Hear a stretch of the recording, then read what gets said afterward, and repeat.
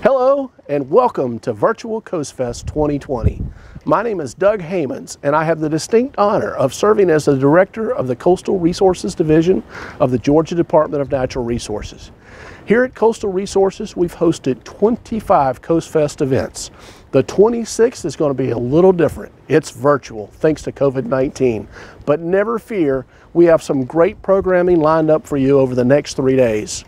Via Facebook Live and YouTube, our biologists are here to answer your questions about what it is we do every day.